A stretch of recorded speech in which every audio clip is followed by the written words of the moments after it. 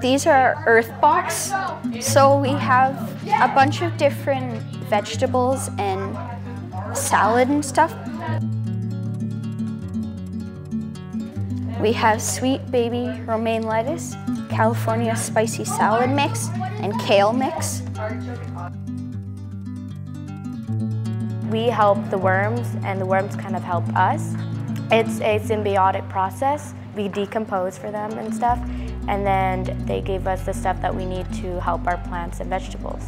The worm tea is, it's basically healthier kind of drink for the plants.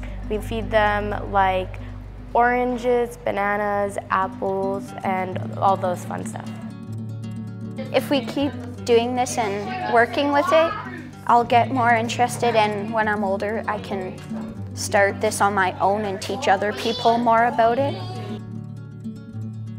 I want to show my kids when I'm older, say, hey, I learned all these cool stuff when I was in grade seven. This is where your food came from. This is why we need to eat this because this is very healthy for you. And I want to actually do this in my home so I can show my parents that um, it's very good for our environment in our home if we have these kind of things.